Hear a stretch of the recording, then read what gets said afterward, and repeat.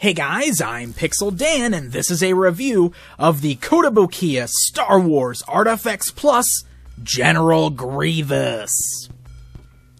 That's right, the one tenth line of collectible ArtFX Plus mini statues continues on from Kotobukiya, giving us another character straight out of Revenge of the Sith. Let's check him out.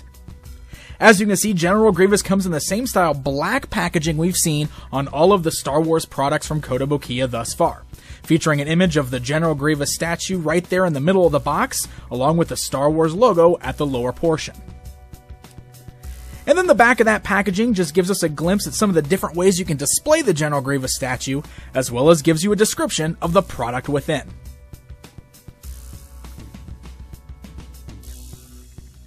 Now, upon opening up this package, you will notice that there is some minor assembly required. You'll also notice that there are some multiple display pieces, so that way you can pop out some of the parts to display him in different ways. Now, there is an included sheet of instructions that will help guide you through the process of putting this guy together, but it is pretty straightforward and very easy to assemble. Since the statue is already pre-painted and all of the joints just pop right into place, there's really no modeling skills needed whatsoever. It's very easy to assemble this guy the way you want and put him on your shelf ready for display. Now I mentioned that you're going to notice that there are some multiple display options.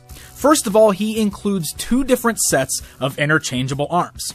That way you can display your General Grievous with normal two arms or with his opened up four arm mode. He also includes four different lightsabers, which can be positioned in each of his hands. So if you want him in the two armed pose, you can just use two of those sabers, or the four arm pose gets all four of them, or, you know, any count of lightsabers that you wish to put in there. The great thing is that each of these lightsabers are all individual pieces, and they are all different from one another. Taking a look at the handles, you'll notice that they're all individual sculpts, so not one of these lightsabers is identical. And they all have very good paint jobs, with some great gold, silver, and blacks seen throughout on all of them. And then they each include their own blades, some green, some blue, and they have the ability to pull apart at the handle, which will help you in putting them into General Grievous's hands. So putting him on display, he stands roughly 8 inches tall. And measuring all the way across from his outstretched arms is another 9 inches. So he is quite a massive character, even though he's in this awesome hunched over pose.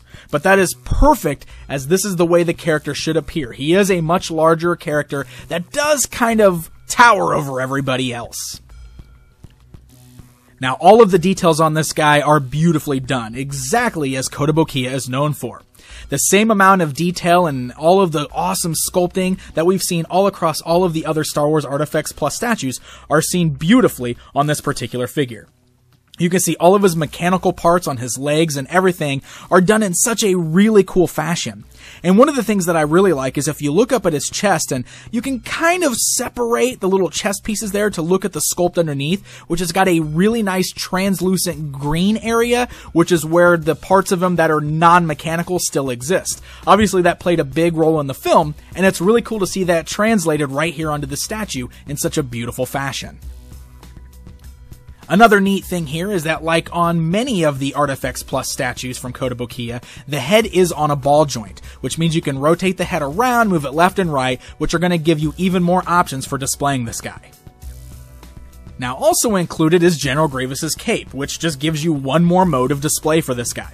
It works well for either the two-armed or the four-armed pose, and it's made of a nice kind of solid plastic there, which has got a really nice paint job on it. The outside is gray, but there's some really nice shading around all the wrinkles and folds that makes it look like it's flowing very realistically. While the inside has a little nice sculpted diamond cut detail, and it's done in like a red color, which also is nice and shaded over, so it's beautiful looking. It fits right around his neck and there's like these little hinges on there that holds it in place. So that way it's nice and tight around his neck. And it folds up and around his arms and looks as if they're draped right over his arms. And like I said, works perfect for both the two arm pose and the four arm pose. This is great because now you have so many different ways you can display this guy. You can give him two arms with no cape, two arms with cape, four arms without cape, four arms with cape, four lightsabers, three lightsabers, two lightsabers. There are so many different ways that you can choose to display General Grievous on your shelf. And to help keep him standing is this awesome display base, which is the same one we've seen on all of the Star Wars ArtFX Plus statues. It's just a black square base, but you'll notice that there are embedded magnets on the bottom of General Grievous's feet which he clings nicely to the stand. It's nice and tight, and this will allow you to pose him anywhere on the stand that you wish so that he'll fit on your shelf in the desired display pattern. This is great because with pegs, you're usually limited on the way you can display this guy. But since there's no pegs and instead we have magnets, not only can we put him any way we want to on this base, but of course you can also line him up with your other Star Wars ArtFX Plus statues and you can even have them crossing over bases on one another, which is going to make for a really cool display piece when all said and done. So there you go, guys. There's a look at the 110th scale Star Wars ArtFX Plus General Grievous. This is another beautiful piece in this line that I absolutely love. And while a lot of these characters have turned out so good, I have to say that General Grievous here is probably among my favorites done so far. There's just so much awesome going on with this guy. I love all of the alternate modes of display with him, and he just looks so menacing. He was beautifully captured in this wonderful 110th scale statue, and I think he'll definitely make a great addition to your Star Wars ArtFX Plus collection.